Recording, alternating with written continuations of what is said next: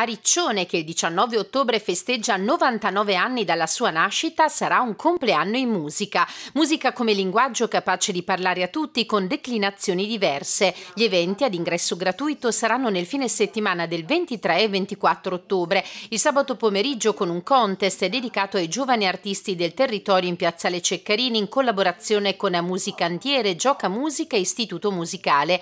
Domenica sera la Sala Concordia del Pala Congressi si riempirà delle le note del premio Oscar Nicola Piovani con il concerto La musica è pericolosa. È un compleanno importantissimo perché è il meno uno al centenario, quindi diciamo, è il primo grande evento che ci porterà a fare un anno di festeggiamento.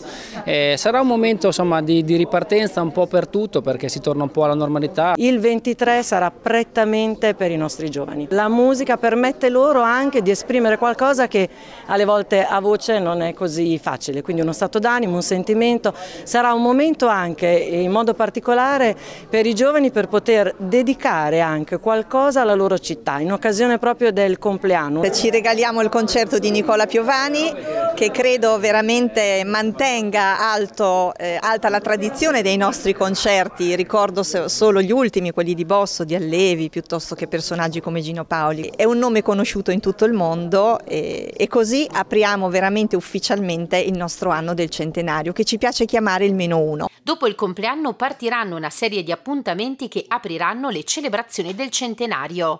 Siamo romagnoli, quindi Riccionese comunque non festeggia il compleanno ma festeggia tutto l'anno e quindi sicuramente il centenario l'abbiamo pensato come una grande festa che duri davvero un anno intero. E una data successiva a quella del compleanno e che vedrà un momento molto importante per la città di Riccione tutta sarà proprio il conferimento l'8 dicembre del San Martino d'Oro. Questo premio che Riccione meritava già da tempo e da anni e che abbiamo istituito grazie proprio alla scusa, fra virgolette, del centenario.